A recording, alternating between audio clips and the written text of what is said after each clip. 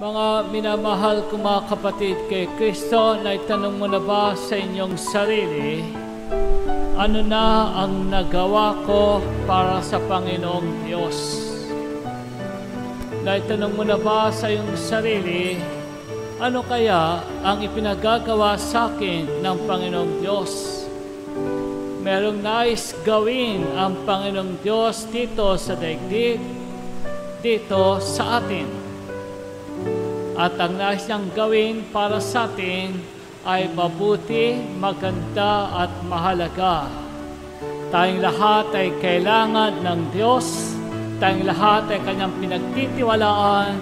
Ikaw at ako ay kanyang hinirang na manggagawa sa kanyang ubasan. Si Jesus ay nakatawang tao, isinilang, may Pasko, upang gawin at ganapin ang kalooban ng Panginoong Diyos upang ikaw at ako ay mapatawad, tayong lahat ay maligtas. Nagtitiwala ang Panginoong Diyos sa atin. Titiyakin natin at titiyakin ng Panginoong Diyos sa atin na tayo ay magtatagumpay, malalampasan natin ang lahat ng sakabal ang lahat ng balakid upang tayo ay makagawa. Siya sa atin nagbibigay ng kakayahan upang matupad natin, maganap natin ang kanyang gawain.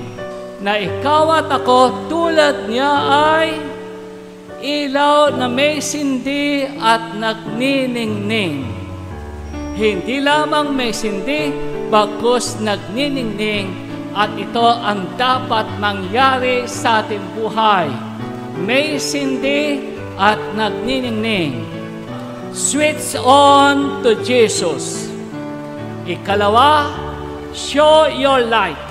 At ikatlo, mga kapatid ko, spread your light. Mga kapatid, naitanong mo na ba sa iyong sarili, ano na ang nagawa ko sa Panginoong Diyos? Na itanong mo na ba sa iyong sarili, ano kaya ang pinagagawa sa akin ng Diyos? Ang kasagutan, unang araw ng ating simbang gabi, ilaw na may sindi at nagniningning, switch on to Jesus, show your light, and spread your light.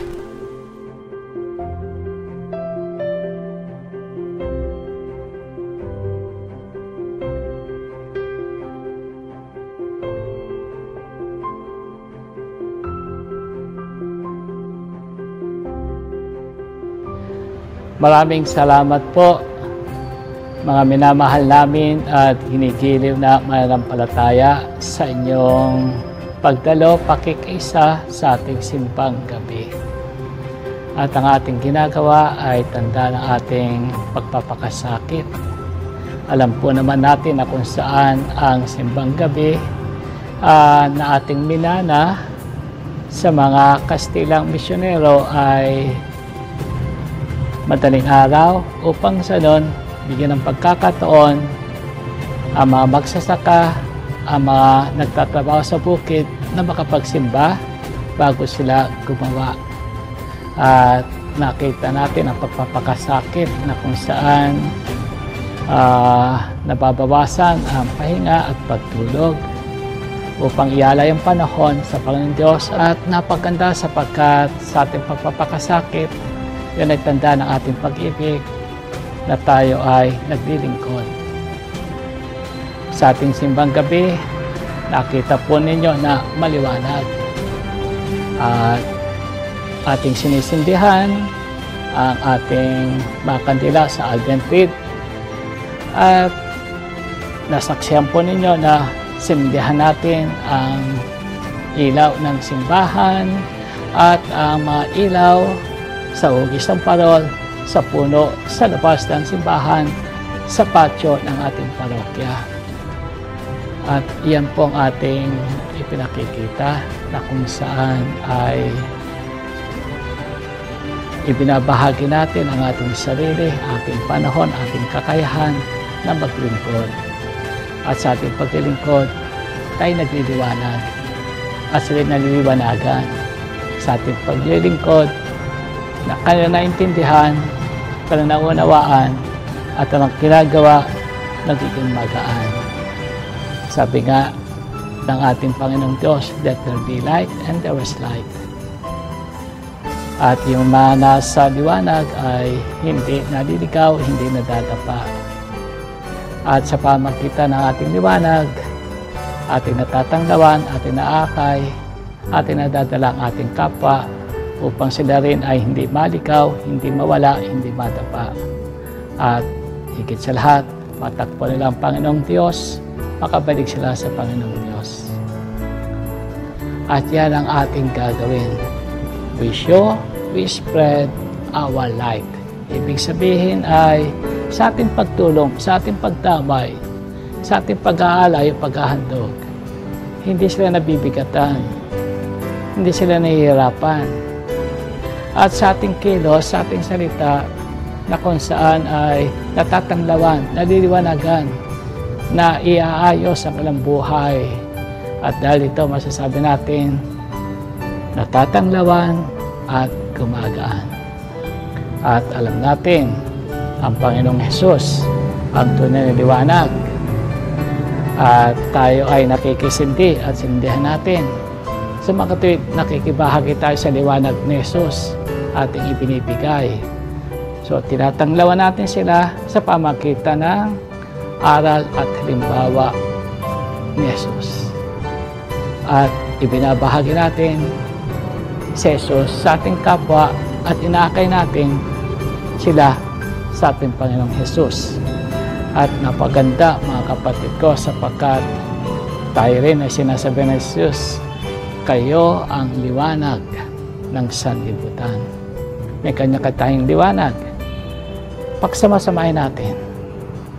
Pag-isahin natin natin liwanag. At kapag tayo nagkakaisa, nagtutulungan, nagdadamayan, ano mangyayari? Higit tayong maliwanag. Marami tayong matatanglawan. At kapag pinagsama natin ating liwanag, higit na matatag, matibay, ang ating liwanag na kung saan kahit ambon, kahit ulan, kahit hangin, ng hidwaan, ng alitan, ay hindi magagapi ang ating liwanag. Hindi tayo magagapi ng kadiliman. Hindi tayo magagapi na kung saan ay hindi tayo mahihirapan, hindi tayo mabibigatan, hindi tayo matatalo ng mga pasanin, ng mga pagsubok, ng mga pangulila, at ng mga masasabi natin pandemya sa ating buhay.